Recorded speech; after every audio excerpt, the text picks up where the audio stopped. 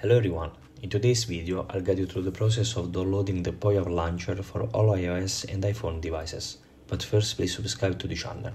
So without further ado let's dive in. So before we dive into the process, let's tweak a couple of settings on your iPhone. Head over to settings, navigate to general and ensure that the background app refresh is turned on for both Wi-Fi and mobile data. Also, in the App Store settings, make sure automatic downloads are enabled. Now, the next step is to open any browser of your choice and visit the following address, Scarlet 3. Search for the Pojav launcher by RTL and hit the download button on the site. Its dimension is more or less around 110 megabytes.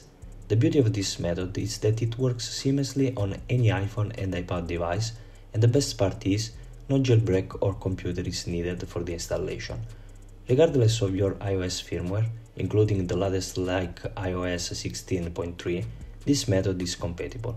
Just be patient while the download completes and once done, you'll see a pop-up. Tap on Allow, then head to Settings. Scroll to the top, check the Profile Downloaded section and proceed with the installation wizard. Hit Install and once back on the home screen, you'll find the Pojav launcher successfully installed. At this point, you just have to open it up and explore. And there we have it. If you find this tutorial helpful, please consider leaving a like and subscribe to the channel.